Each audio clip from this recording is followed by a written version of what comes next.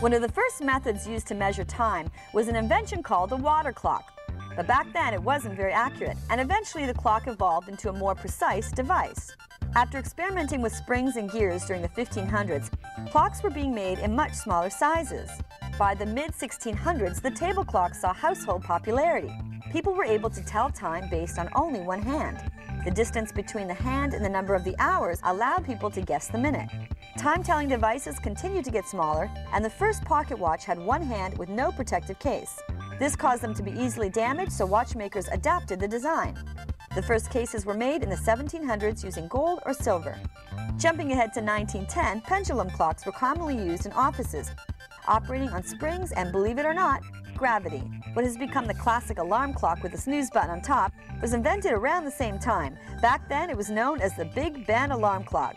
Finally, the Snyder TV lamp clock made its debut in the 1950s and was quite popular. Today, it's considered a valuable collectible. Clocks have come a long way over history and have solidified themselves as a staple gadget in modern society.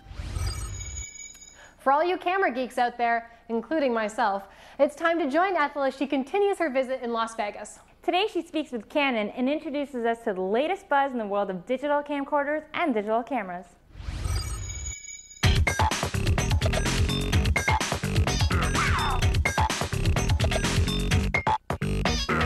Technology changes very rapidly, and especially in the digital camera consumer business, we come out with new products every six months to meet that consumer demand. Six months, that's great. Every six months, right, exactly. We're showing our PowerShot SD980IS Digital ELPH. So what makes this so amazing? Well, it has, it's our first Canon touchscreen digital still camera. And not the entire menu is available via touch, but some of the more uh, strong features and quickly accessible features that you would access every day. For instance, Let's get into scene modes. Some of your popular scene modes, such as portrait, landscape, kids and pets, are all avail available via touch. So you would simply select your option, and now you're ready to go.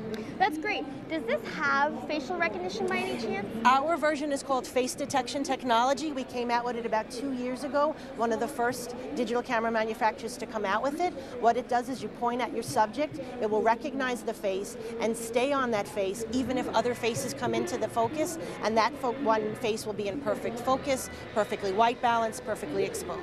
I love photography, but I also love videography. Do you have camcorders that have the feature feature of facial recognition as well? Yes, we do. Since Canon offers all kinds of solutions for consumers from input to output, we have an outstanding camcorder division.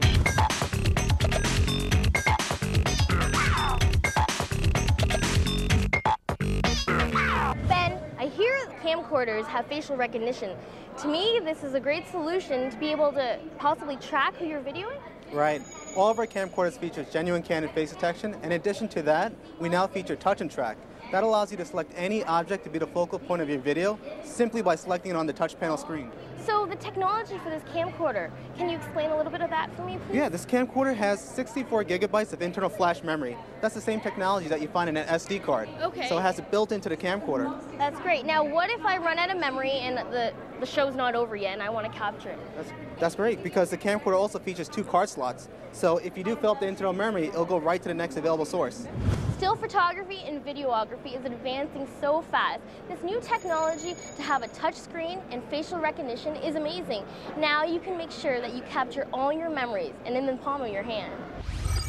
Well, that wraps up another episode of Gadget Girlz. We're working hard to bring you the latest and greatest in technology and electronics.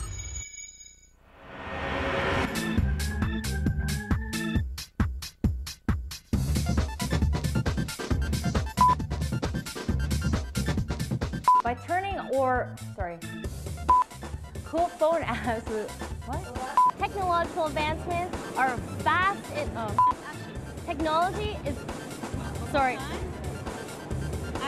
And their various inside scoops.